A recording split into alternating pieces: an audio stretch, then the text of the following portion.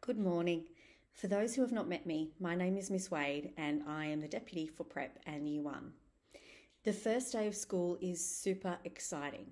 There can be first day tears and nerves for both adults and students, and this is absolutely normal.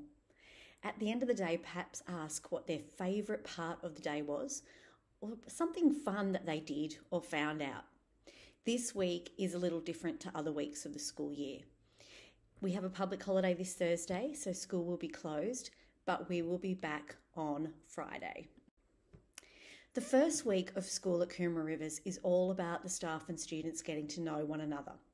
Some of the things they will be learning this week are the routines and how we can work together with our peers in a kind and respectful way.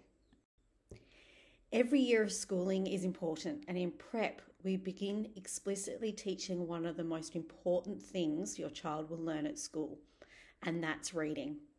Please have your child to school on time every day. Every minute counts, and we begin learning at 8:30.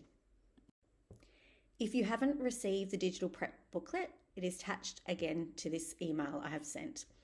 Read it with your child or refer back to it yourself for information. Keep the iPads at home this week. We will be busy settling into routines, but please do bring it every other day charged from week two. Your teacher will remind you. Have a great first week, everyone.